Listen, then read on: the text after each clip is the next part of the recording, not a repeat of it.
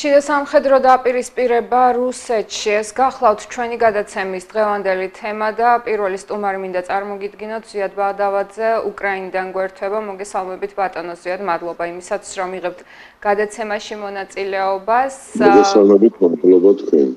ორი დღის განმავლობაში უფრო სწორედ ესე იგი გუშინ წინ დაიწყო ეს მოვლენები რუსეთში, რომელიც მოსალოდნელი იყო საკმაოდ დიდი ხნის განმავლობაში. პრიგოჟინი აკეთებდა განცხადებებს, რომელსაც ალბათ ლოგიკური შედეგი და ლოგიკური გაგრძელება ეს უნდა მოყოლოდა, თუმცა რამდენად ლოგიკურად წარიმართა მოვლენები ეს თქვენ მინდა რომ შეაფასოთ, აი როგორ შეაფასებთ იმ პროცესებს, რომელიც ვითარდება დღეს რუსეთში? რუსეთს ჭუით ვერ გაუგებო. მაგათი ერთი ცნობილი პოეტი ამბობს ხო ვერ არ შეიძლება ლოგიკურად რაღაცა რაღაცა იფიქრო. თუმცა აუცილებლად არსებობს კანონზომიერები რა კანონზომიერებები რაზეც მე ადრე წერდი და საუბრობდი მაგათად კეთვით ბოლო მე-20 საუკუნის ისტორიას. ხუთ წელში წააგეს იაპონიასთან მიიღეს რევოლუცია. ამას ჩვენ არ გვეუბნებოდნენ თორე ხუთ ხუთ წელში რუსეთში იყო რევოლუცია პირველ სოფლიო ომში დამარცხდნენ, გამოვიდა იმპერატორი იქიდან და მიიღო ორი რევოლუცია სახში.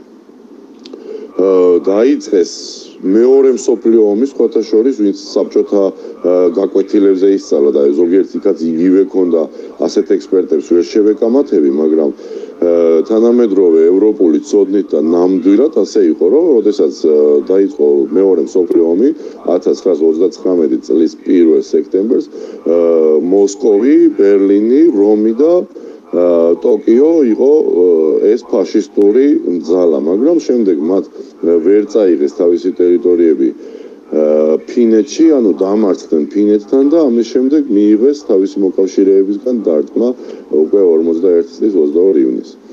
როდესაც ისინი დამარცხდნენ ავღანეთში, საერთოდ დაენგრათ და დაეშალათ საბჭოთა კავშირი.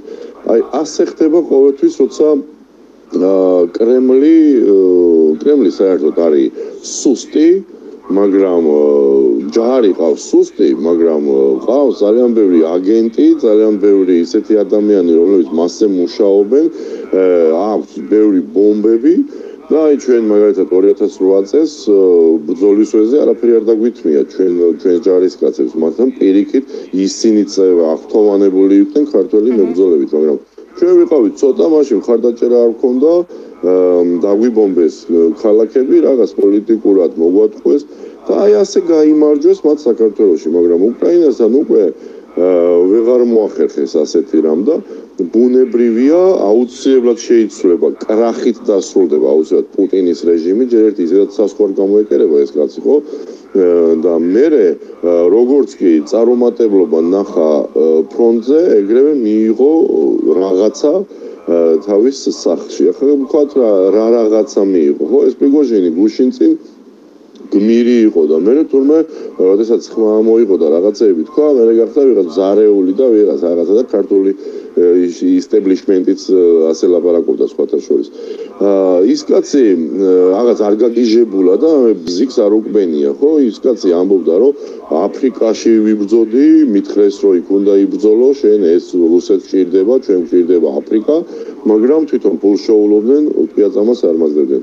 შემდეგ უკრაინაში გამომიშვეს, პიაწამას არ მაძებდნენ, თვითონ პულშოულობენ, არაფერი ტექნიკა არ ქონიათ, არანაირი დახმარება, ამდენი ხანია, წელიწადზე მეტია უკვე ბახმუთს სიცავსის გაციდა იბრძვის უკრაინის წინააღმდეგ და ცუდი ადამიანია, მაგრამ მე ვამბობ ფაქტებს, რაც მოხდა შიგნით. არანაირი მხარდაჭერა არ ქონდა штаბისგან და თავდაცვის სამინისტროსგან. უფრო მეტიც, უფრო მეტიც. ჯერ გვახსოვს რომ მან გააკეთა მაისის დაწყისში განცხადება, რომ თუ არ მომაკვდით ბაეპრიპასებს მეც იმასავით დავიწყე ლაბარაკი უკვე ამდენი ხანია უკრაინელებთან ვარ და რუსულად დავიწყე ლაბარაკი.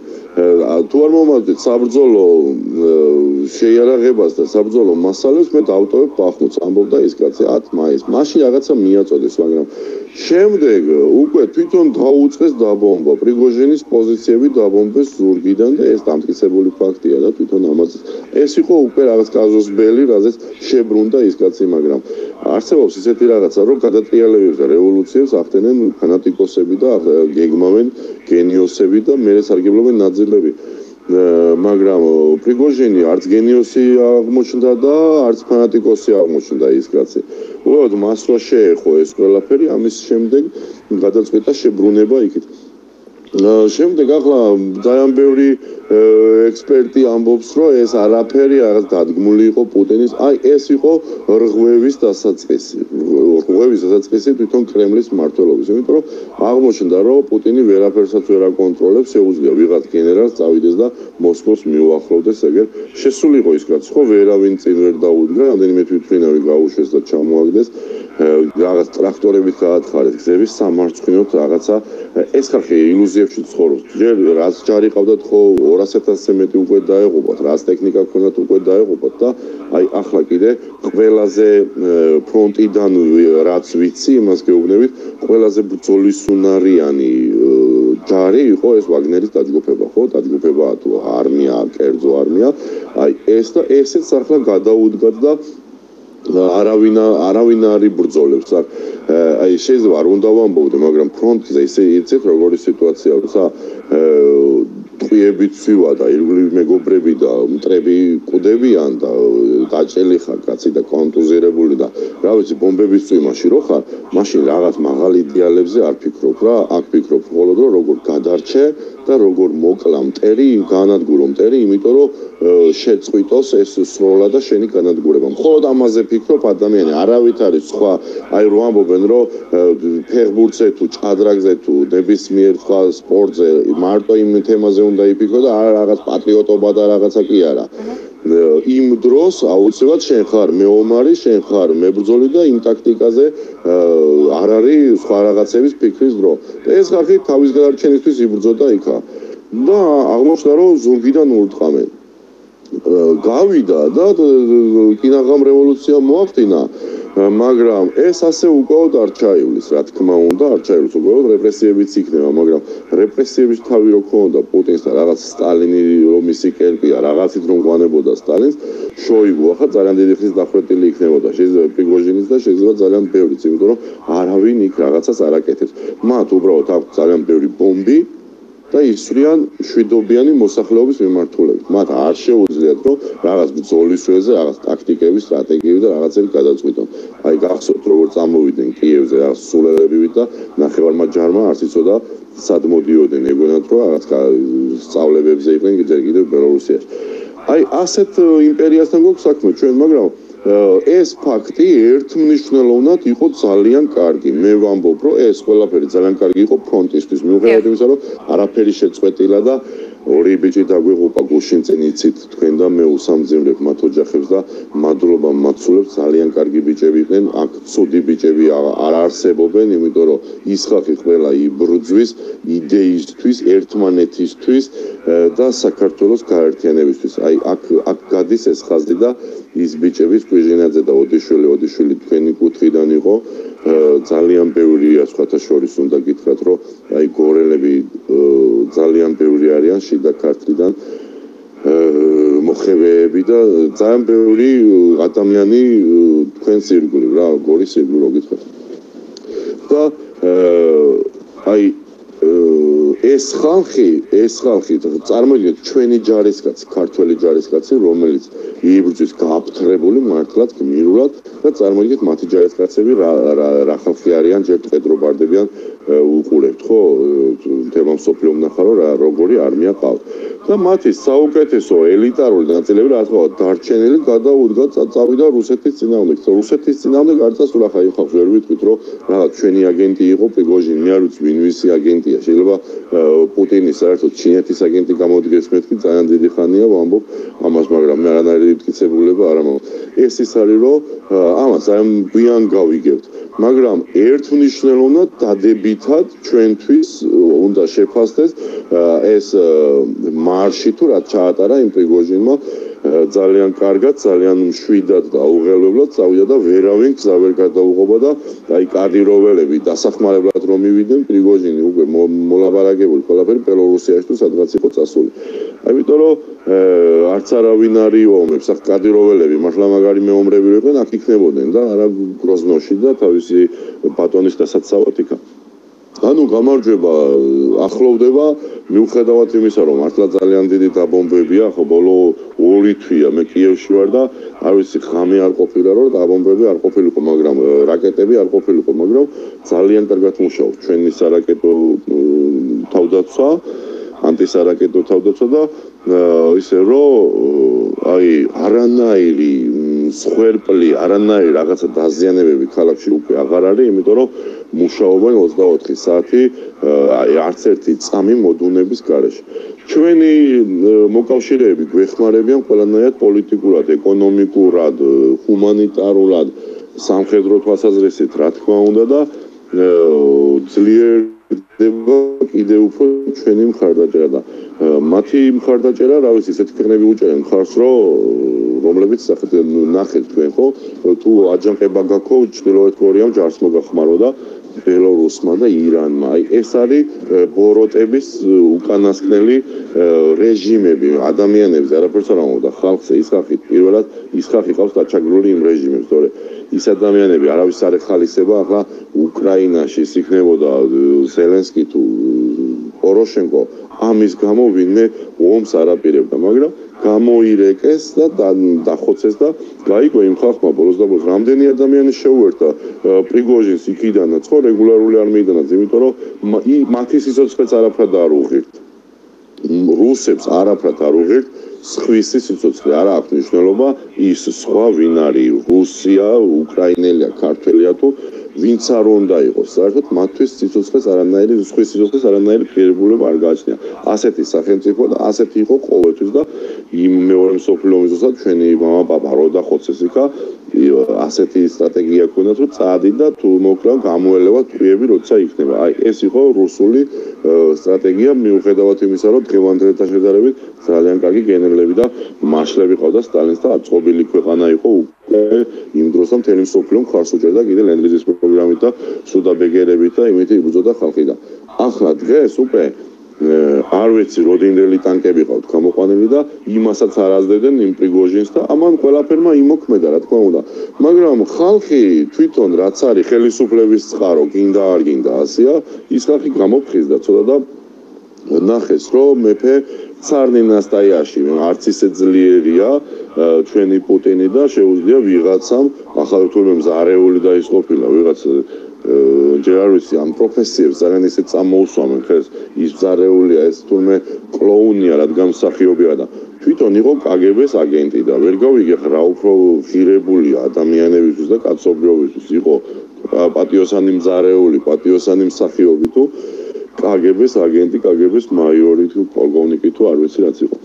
ყველა შემთხვევაში დადებითად ვაფასებთ ჩვენ მაგალითად ამ პრიგოჟინის გასეირნება. ჯერ აქედან წავიდა და მოსკოვისკენ წავიდა და რატო უნდა შევაფასო? ხო ცუდად მაგალითად მე მიუხედავად იმისა რომ ვიღაცებს ძალიან დიდი მოლოდინები ქონდათ ეს არის რომ ჩვენი მოლოდინები არ გამართა და რატო უნდა ქონდა ხო დიდი მოლოდინები პრიგოჟინისგან ადამიანი რომელიც არის სიცხვისმელი და რომელიც რუსეთის ერთ-ერთ არმიას უდგა სათავეში და იბრძვის ყველგან რუსეთის დროშით რატო უნდა გააკეთებინა ჩვენი საქმე, მაგრამ ყოველ გახდებოდა უცებ დემოკრატი და კარგი კაცი.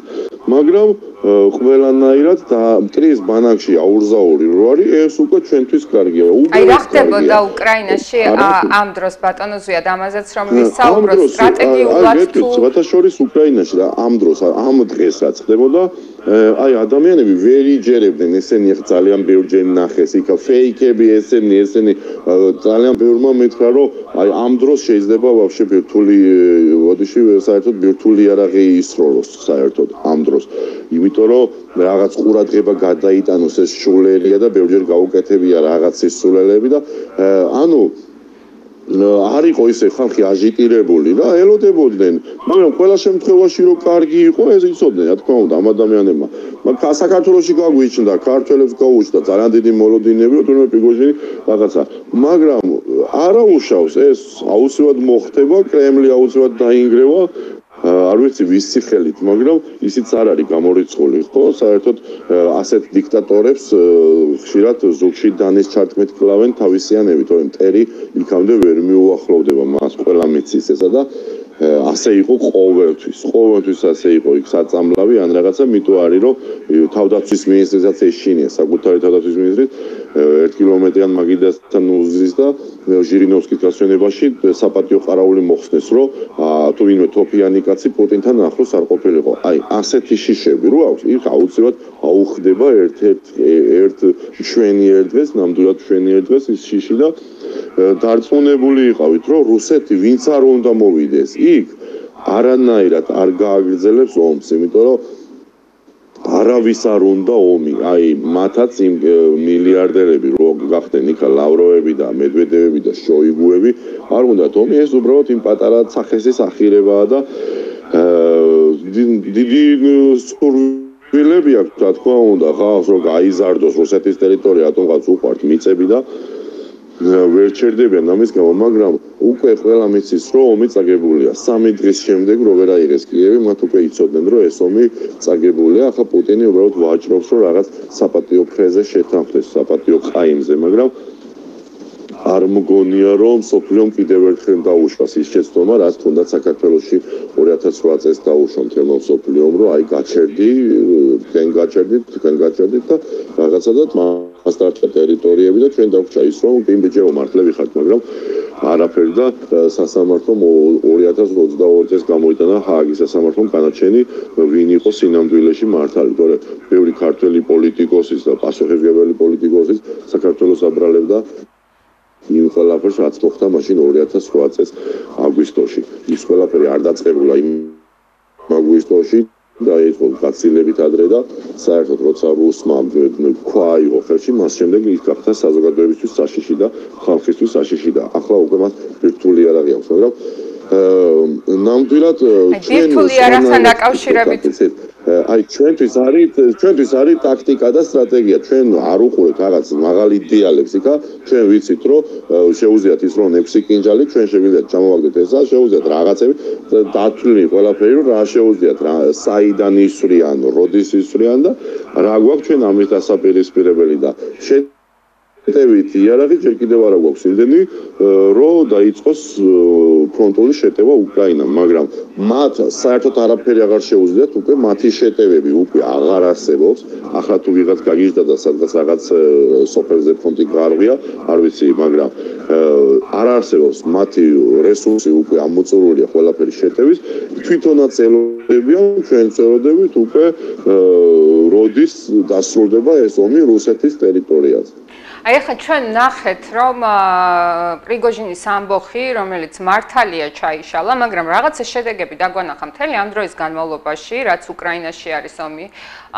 რუსეთი ღია დააცხადებს ბირთულ მუქარას ასე ვთქვათ. არაერთხელ მოგვისმენია მაღალჩინოსნებისგან რუსი მაღალჩინოსნებისგან სწორედ ეს ბირთული მუქარა. ამის მიუხედავად ნახეთ რაღაცა ერთგვარი ჩამოშლა და ჩამორღვევა რუსეთის უძლეველობის მითისა როდესაც პრიგოჟინი როგორც წეღან აღნიშნეთ, ხა არ შეიძლება ეს არანაირად დამაკნინებელი ფორმატით ვთქვათ, მაგრამ პრიგოჟინზე ვსაუბრობთ, ანუ ერთმა რიგითმა მზარეულმა ერთმა რიგითმა მზარეულმა, ყოფილმა მზარეულმა მოახერხა ის, რომ ნახეთ ორი დღის წინ აცახცახებული პუტინი იქიდან გამომდინარე, რომ ის მთელ რიგ დათმობებზე წავიდა პრიგოჟინთან და საბოლოო ჯამში მიუხედავად იმისა, რომ დღის დასაწყისში გამოაცხადა დაჯგუფება ვაგნერი და მათი მხარდამჭერები ტერორისტებად, დღის ბოლოს თქვა, რომ დევნაც კი არ იქნება იმ ადამიანების მიმართ, ვინც ამ ამბოხში მონაწილეობდნენ. აი, ამ ყველაფრის ფონზე სამომავლოდ რამდენად შეიძლება რომ სერიოზულად აღიქვას სამყარომ და სოფლიომ პუტინის მუქარა, როდესაც ჩვენ ხედავთ ერთი კაცისგან, წეღანაც თქვი, ყოფილი მზარეულისგან ასე ძალიან შეშინებულ პუტინს. არის კიდევ რაიმე საფრთხეები რუსეთისგან? ეს არის ეს არის მხდალის ხასიათი, მხდალის ზნე. ანუ ვინც არის შიშარა და ლაჩარი ის ცდილობს სხვა დაჩაგროს რომ ვითომ აი მე ამას ჯობი ვარ ყოველთვის ასეა ჩმო ასე ვქეთ მე ჩერა ჩელავეთ მაგრამ ნაპოში მორალურად დაცემული ადამიანი მას შეუძლია დაჩაგროს ვიღაცა თორე ერთ ორს ყმაში რომ მოადებს ვინმე უკვე სხვანაირად ფიქრობს აი რაღაცა გაოვიდა იქ იქ სადღაც დახოცა ვიღაცები შეიერთა რაღაც ტერიტორიები ფიქრა რომ აი მე ვარ ძლიერი მაგრამ ოდესაც მოხდა ყმაში უკვე სხვანაირად ლაპარაკობს. ახლაც ის პრიგოჟინი რო შეუბრუნდა უკან შეეშინდა და ძალიანაც შეეშინდა სხვა შორის არა მხოლოდ რუსეთში შეეშინდა სხვა ქვეყნებში შეეშინდა იმ რუსეთის ჩანერგილ და კონსერვებულ აგენტებს იმიტომ რომ მალე დამთავ მალე დასრულდება იციან და რაღაცი ცდილობენ რომ ყველამ გაიხანგძლოს თავისი საწოდავი არსებობა თორე რუსეთის ამ ფორმით ყოფნა თერმომ თერმომ სოფლიო მიცის რომ უკვე დასრულებულია ბაიდენმა თქვა რუსეთს მოუწევს აუცილებლად დაბრუნება ყველა მიტაცებული ტერიტორიის. არ უთქვამს მას ის რომ 2022-ში რა მიიტაცეს და სხვა წლებში. ყველა მიტაცებული ტერიტორიის და ამ დროს შიდა ამბოხიც რა თქმა უნდა ეს იყო ერთი შელოვნად აი იყო ძალიან კარგი მომენტი უბრალოდ ეს არის რომ ზოგიერთი ზედმეტად აფასებდა, ზედმეტი მოლოდინები ქონდა, ზედმეტი მოლოდინები არასოდეს მართლდება. ჯობია რომ კონდეს აი პოპკორნი მაგალითად ძალიან კარგი თემა იყო, იმიტომ რომ ჩვენ ხوار დაუბომბავდით ახლა რომ ის ხალხი ერთვის ერთმანეთს გადასარევად და უნდა ვაცადოთ ასეთ დროს. აა თითქოს შერიგდნენ, მაგრამ ასე არ დასრულდება ეს ამბავი. პიგოჟინი გიჟი არ არის რომ მარტო ყოფილიყო, იმას ეყოლება კიდე ხარდამჭერები და რაც თავარია, ყველამ ნახა, აი რაც თქვენ თქვით ახლა, რომ ყველამ ნახა, რომ პუტინი არის კიდევ ერთხელ მათყუარაც უპენტრა და შიშარა მხდალი ადამიანია. მე ასევე ძალიან ვაკვირდებოდი მაგის საქციელებს და მახსოვს ნორდოსში როცა ტერორისტები შეიჭდნენ დაიყვანეს ძერათ ის ადამიანები გამოვიდა ხალხი მიტინგზე მოსკოვში და თქვეს რომ აი შევწყვიტოთ დავეთანხმოთ ტერორისტებს.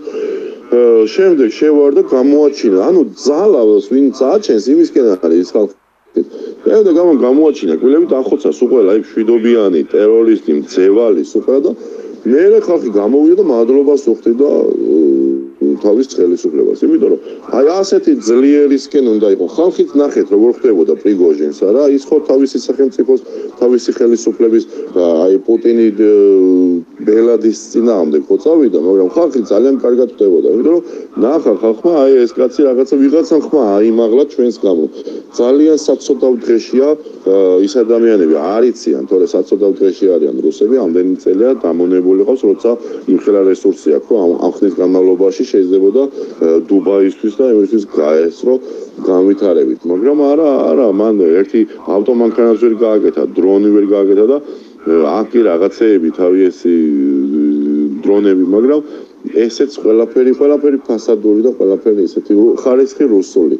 უკვე გასაგებია შეიძლება არის ძალიან კარგი რკინის მეტალი მაგრამ ტექნიკურად არის აბსოლუტურად გაუმართავი დიახ და ბოლოს შეჯამებისათვის რომ თქვათ აი ეს პროცესები რომელიც მიმდინარეობდა რუსეთში როგორ შეიძლება რომ აისახოს საქართველოსში ჩვენ ნახეთ პრეზიდენტის მოწოდება ხელისუფლების მიმართ ასე ნახეთ ხელისუფლების განცხადებები იმასთან დაკავშირებით რომ არაფერი არ იყოს ადარდებელი და არაფერი განსაკუთრებული ზომები არ უნდა მიიღოთ იყო თუ არა საჭირო გარკვეული ზომების მიღება და რა უნდა გაეკეთებინა ხელ ხელისუფლებას ზოგადად აი სამომავლოდ როგორ შეიძლება რომ გავითვალისწინოთ ეს გაკვეთილი? აი აზერბაიჯანს ქონდა მოდი და შევხედოთ რომ რაღაცას ხო არ გამოვიგონებთ ჩვენ რა ვიღაცისგან რაღაცა უნდა გავიგოთ და ვისწავლოთ აზერბაიჯანს ქონდა წარჩეული ტერიტორიები სადღაც 90 წლების დასაწყისიდან ის ადამიანები ემზადებოდნენ თუ გინდა მშვიდობა და თავისუფლება და ღირსება უნდა ემზადო ომის ემზადებოდნენ ომისთვის შეიძინეს რაღაცა იარაღება არ მიდიოდა იქ ცხელი ომები მაგრამ როცა რუსეთმა გაიხედა სირიისკენ და უკრაინისკენ ადგა და აზერბაიჯანმა დაიბრუნა თავისი ტერიტორიები. სომხეთმა წაღიარა ეს შემდეგ ოფიციალურმა სომხეთმა ძალიან მომწონს მე მაგათი პრეზიდენტი, იმიტომ რომ ის კაცი ხედავს რეალურად ну ახლა არ ჩავალ კლევაძიებაში, იმიტომ რომ არ მცალია მაგათთვის, მაგრამ ყოველ შემთხვევაში აღიარა რომ კი ბატონო, აზერბაიჯანის იყო ეს ტერიტორია და რუსეთმა წაგვაქეზა ჩვენ რო წაგვერთმია. აი ჩვენ თუ გვინდა რომ დავიბრუნოთ ჩვენი ტერიტორიები, ოდესმე ძლიერები უნდა ვიყოთ. ძლიერის ეშინია ყველა და არა ისე რომ მე შენ რაღაცა ელარს გაგიწელავ იქა და ხაჭაპური მაგ და ჯარი არა გვყავს ზოგიერთი ამბობდა და რაღაცა რა ის ომი და რამე? კი ბატონო მაგრამ სამხედრო რიტორიკა და საომარი რიტორიკა არ უნდა ვაწარმოოთ მაგრამ აუცილებლად უნდა შეგვეძინა რაღაცეები თუნდაც ის ჯაველინები რამდენიმე წელი ჯარი საქართველოს ჩამოდანილი და იმ ჯაველინებით შევაჩერეთ ჩვენ თავიდან ესენი რომ მოდიოდნენ ტანკები აქ კიდევ საჰაერო თავდაცვა აუცილებლად უნდა გქონდეს და რაღაცა უნდა გქონდეს ამისთვის უნდა მოქმედებდეს ხელისუფლება და არა ის სამარცხინო სავალდებულო ჯარი რო ყავს ესა რაღაცა რუსული გადმონაშთი წელიწად ნახევარი ბიჭებს იქ ყარაულად აყენებენ და რა ვიცი ციხეებში და სადარ აყენებენ ამ ბავშვებს უსპობენ ჯარის სიყვარულს უსპობენ როცა მთელი მსოფლიო რეზერვში დადიან და აი ახლა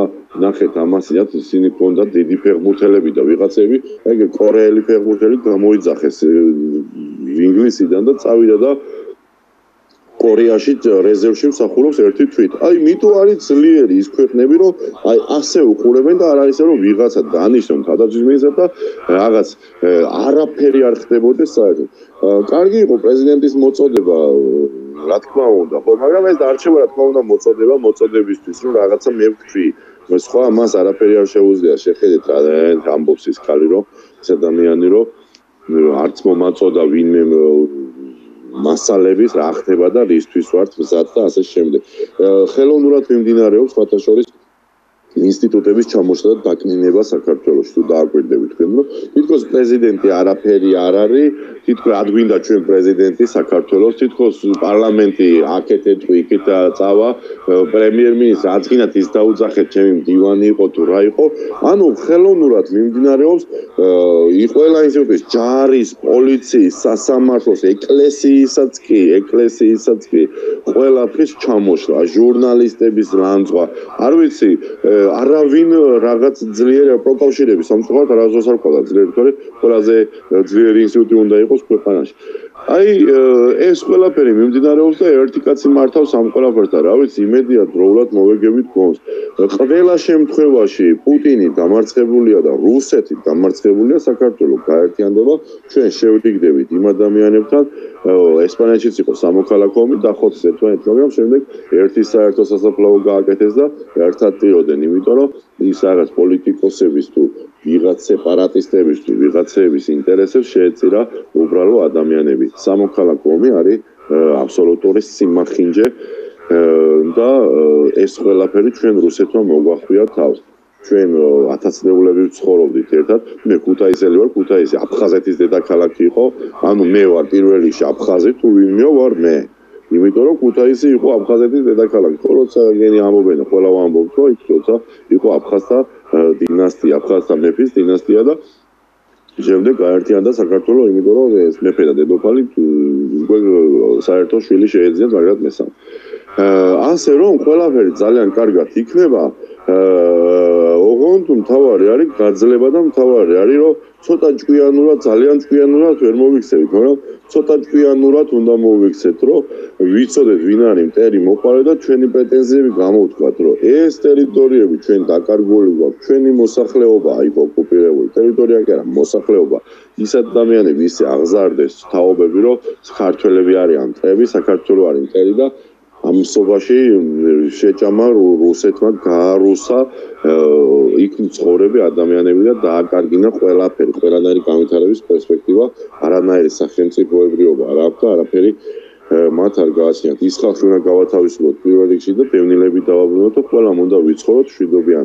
ეს ყველაფერი აუცილებლად მოხდება, მაგრამ მანამდე საქართველოს რაღაც გაერთიანება უნდა მოხდეს, რომ არ უნდა ამდენი ზიზღი ევროპა გვასწავლოს ქართველებს ქართველობას, რომ ეს არის ზუსტად პოლარიზაციის დასრულება, რომ რადგან მე განსხვავებული აზრი ვთქვი, არ ნიშნავს, რომ ისა ვარ ნაცი ვარ, ამ კოცი ვარ, რაღაცა ამის აგენტი ვარ, იმის აგენტი ვარ. შეიძლება ყველას უყვარს საქართველოს, მაგრამ დავდგეთ ერთად და ავაშეროთ ჩვენი ქვეყანა. ამას მოუწოდებ ყოველთვის ჩვენ აქედან. არა მარტო მე, ჩემი მეგობრები და დღეს ბიჭები წავიდნენ ახლა ფრონტზე გავიდნენ აქედან და მე მინდა მშვიდობა უსურო, ყველასე გამარჯვება და თავისუფლება და ღირსება. პირველ რიგში სიცოცხლე და გადარჩენა და შემდეგ იქნება ყველაფერი აუცილებლად და აუცილებლად კარგად. მადლობა მინდა გითხრათ, რა თქმა უნდა, მშვიდობით დაბრუნება გისურვოთ საქართველოსში და მინდა მშვიდობა და ჯანმრთელობა უსურვოთ თვითონ ქართულს, რომელიც დღეს უკრაინაში საქართველოს ღირსებისთვის სიბრძვის. მადლობა კიდევ ერთხელ და გემშვიდობებით. დიდი მადლობა ნახვამდის.